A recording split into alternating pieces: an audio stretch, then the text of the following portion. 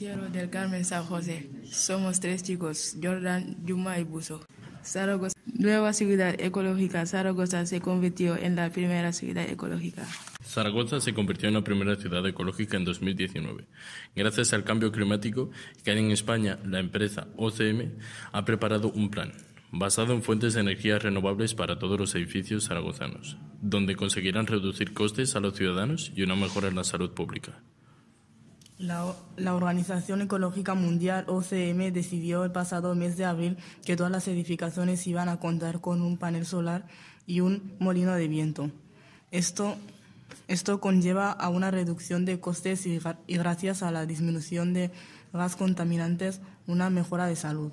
Esto, esto será posible gracias a los, las subvenciones otorgadas por el ayuntamiento.